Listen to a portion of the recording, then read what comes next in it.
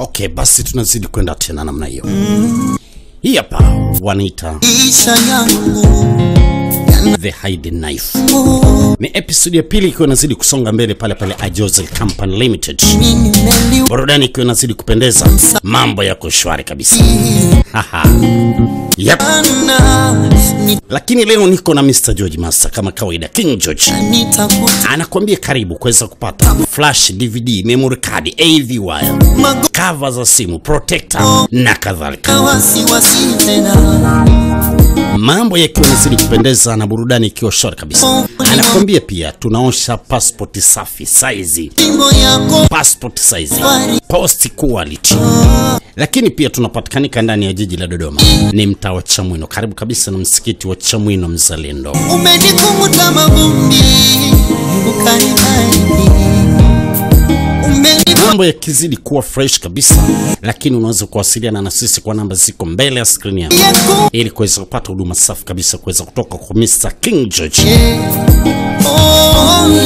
E, lakini pia kumbuka mambo kama haya unapata pale pale Ajozil Company wakiwa wanashirikiana vizuri kabisa kabisa na Mr George Master kama kawaida.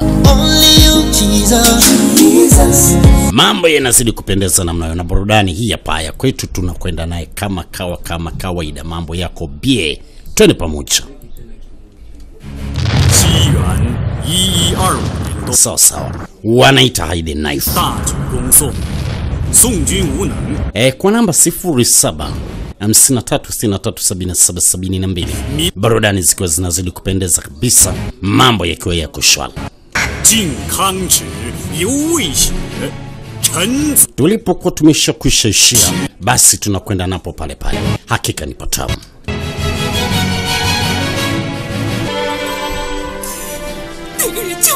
Yep. Basi tulipokuwa tumesha kwisha ishia, ndio pale pale tunakwenda kunyanyuka napo. Binti alikamata farasi na akiwa anaangalia kile kisu. Ukiangalia hichi kisu kwa undani zaidi, kuna jinsi kilivyokuwa kimeandikwa andikwa tu. Hatimaye binti aliondoka. Sasa baada ya kusepa he, hapo ndo upatano wewe eh, Black Amos wamejileta, wanamtaka bwana mkubwa. Cheki maneno haya, umziki nimeshakwambia, umziki ni mzito, hakika ni mzito.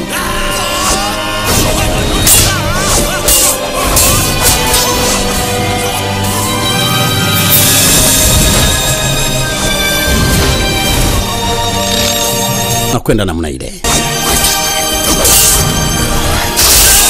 Black Amos, mziki wao ni mzito, lakini hapa sijui kama watapita. Twende pamoja. Ghafla inapigwa mishale kwa nyuma na mshale mwingineo, asi bwana mkubwa anakwenda chini. Ni kwa nini kijana ameamua kufanya kitu kama hichi? Asi yule binti alikuja alimfikia mume wake, lakini mume wake ameuawa kinyama sana, mishale alikuwa kwa midungwa ni mishale ya kutosha. Binti alimwangalia mume wake huku analia sana, ameuliwa kinyama sana na kile kikosi cha Black Amos. Binti alilia mno. Sasa kilio chote alipiga sana kelele, jitokezeni, jitokezeni. Ghafla anatoka yule kiongozi wa Black Amos. Yep. Tena anacheka kwa dharau, dharau ya hali ya juu sana. Lakini pamoja na dharau zote, hatukuwa tunajua nini kinachojiri. Em, tuende pamoja. Kuna bwana mmoja huyu hapa, huyu kuna kitu alikokuwa kichora alikokuwa anaangalia kile kichwa mpaka sasa hivi amekishikilia kile kichwa, alikokuwa anaandika kwenye magome ya miti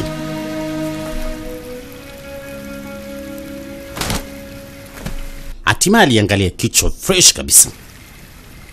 Baada ya kukiangalia kichwa, roho ilimuma sana kwa kitendo kilichokuwa kimefanyika alikula kiapo atawatafuta wablaki amos hadi hakikisha amelipiza kisasi. Alilia sana kosho, sintamwacha hata mmoja ambaye ameshakwisha kuweza kufanya unyama kama huu. Hichi ni kiapo changu mimi, twende pamoja. Hii wanaita the hidden knife. Kumbuka kama nilivyokuwa nimekwambia, inatoka pale pale Ajozel Company. Tuachane nayo leo kwenye Shaolin tempo moja. Kuna bwana mmoja alikuwa anapanda lakini hapa kuna kipofu mmoja, huyu mtu alikuwa anapanda, anatingisha ardhi, anavunja pia na ngazi. Hakika ni balaa. Amebeba vyungu fulani, ni vizito sana hivi vyungu. Hivi vyungu vinakaga kwenye mitempo na ni vyungu ambavyo kunyanyua ni mziki mzito, yaani ni chungu kizito mno. Alisonga namna hiyo, huyu anamwita shusho, wewe twende pamoja. Alikula kiapo lazima atalipiza kisasi juu oh, ya wahusika wakuu. gafla anakutana na mast akamuuliza tumeona ajabu sana na uwezo mkubwa ambao ulikuwa nao kwa kitendo cha kuweza kunyanyua iki chingu, lakini hapa mbele kuna baadhi ya mastaa wengi sana wenye uwezo wa mapigo tofauti tofauti no. Oh tunahitaji ushirikiane nao, lakini mtu anakanusha, anasema hakuna mwenye uwezo hata mmoja wa kuweza kushindana na kung na nguvu anazozitumia yeye. Yeye anasema anatafuta kile kikosi cha Black Armus. Kuna mmoja huyu hapa anasonga mbele, huyu yeye ni kipofu, lakini kuna chuma anachokitumia ana uwezo wa juu alimhitaji washirikiane pamoja kama utakuwa tayari, kwa sababu hata na wao wanakitafuta sana kile kikosi cha Black Armus.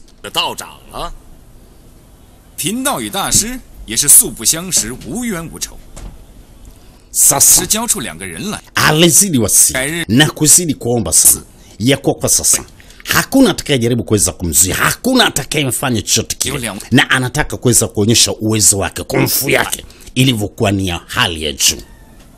他们遗下的寡妇孤苦无依。柯大侠，你说此事我当不当管？别说是道长，朋友遗孀的人，就是素不相识之人，我兄弟既然知道了，也会鼎力相助，那是义不容辞。师兄，是啊，贫道正是要大。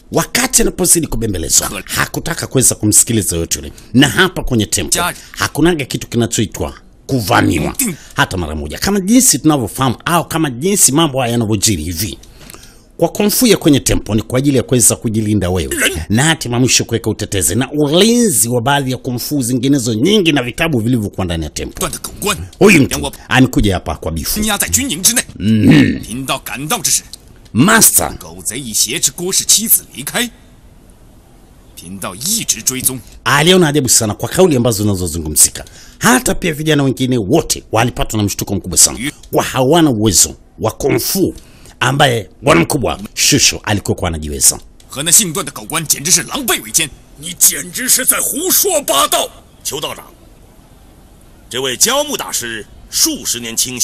Sasa hizi shughuli zimeshakuwa ni nzito.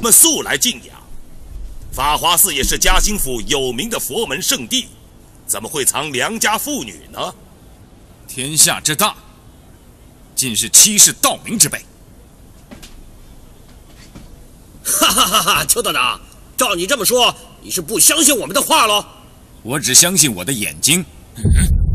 邱道长，你说这话什么意思啊？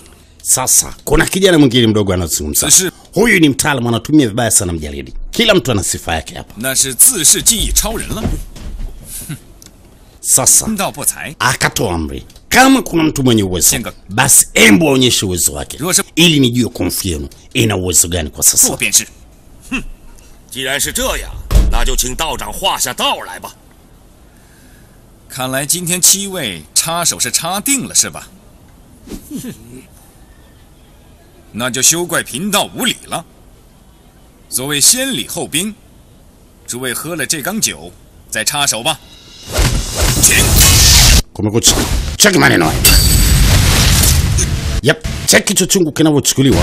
Kila mmoja anatakiwa aonyeshe uwezo wake. Haya ni mashindano mazito. Blind man alikuwa anapasha na bwana mkubwa Mr. Shusho. Twende pamoja. mona maneno haya wanavyotumia kwanza hicho kinywaji hapo kwenye chungu.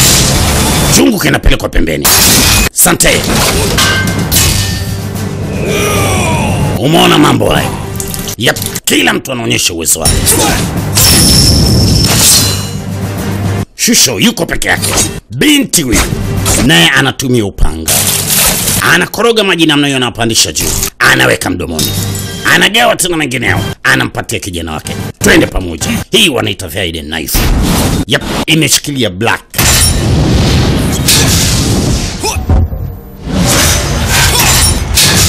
shughuli shughuli ni pevu, ngoma inanyanyuliwa namna ile, masta mwenyewe anashangaa. Twende game.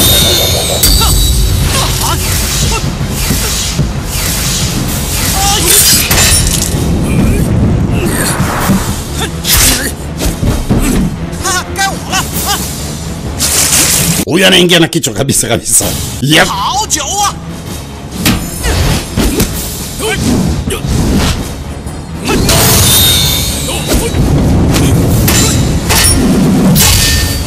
Master anaangalia shughuli inavyoendelea hapa kwenye temple.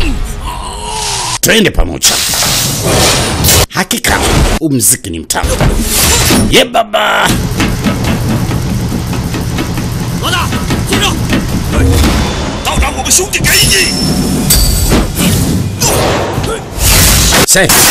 Yep. Blind man. Kilichu kinapelekwa nje. Ghafla nje kuna askari walikuwa wanakuja, kile chungu kinakwenda kuzuiwa kisije kikaleta madhara. Umeona bana, kinabanwa namna hiyo, alafu kinarudishwa ndani, inahamishwa tena namna hiyo. Sante, vipi hapa shusha anasema huu ndio uwezo wangu, hakuna hata mmoja atakayekuwa na uwezo wa kufanya mashindano na mimi na hiyo bifu ambayo ilikuwa ingetokea hapo nje, kama kichungu kigegonga wale askari, sijui ingelikuwaje. Aliomba tena, shusho, tafadhali, kama upo tayari, naomba tushirikiane. Alikataa. Shida anawataka Black Amos. Haikuisha muda, askari wanapanda, wanarudisha na chungu. Twende pamoja, mkubwa amepotea, ayupo Yep.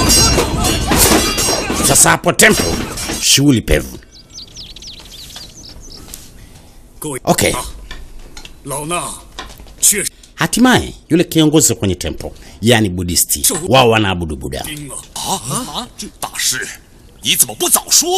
alizidi kulalamikiwa sana. Huyu mtu kwa kitendo cha kufika hapa na hatima mwisho kuweza kuonyesha uwezo wake, unajua pia hili ni tatizo tena si Kwa nini tusihakikishe tumempata ili kuweza kuungana naye?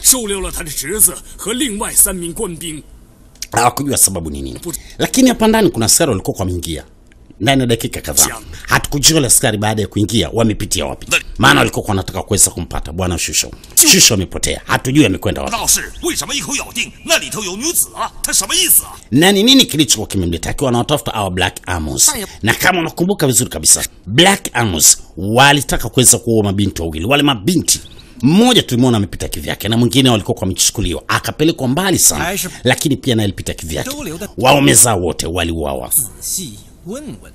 Sasa baada ya kuweza kuuawa wale mabinti wako wapi? Mpaka sasa hivi bado tuna maneno mengi ya kuweza kujiuliza.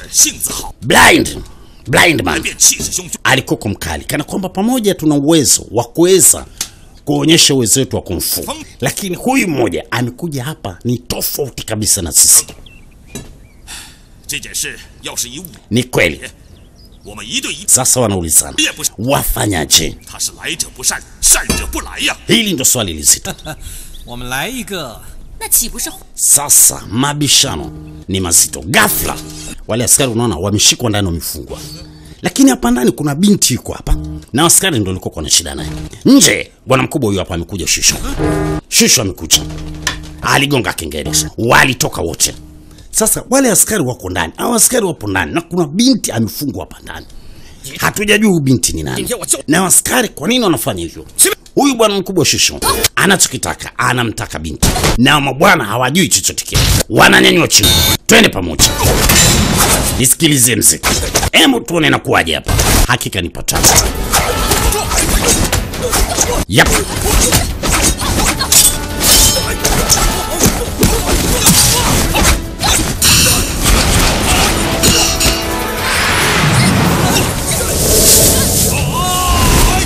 Huh.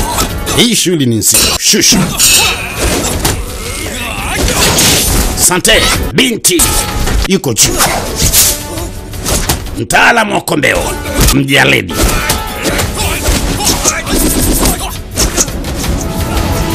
Blind man yuko pembeni anasikilizia mziki. Nacheki maneno hayo. Blind man anakuja na mwenzake.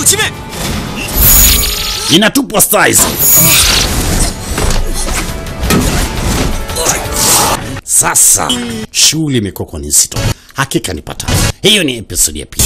Episodi ya tatu hii hapa inakuja namna hiyo, em, twende pamoja na hii, ndo wanaita hide knife.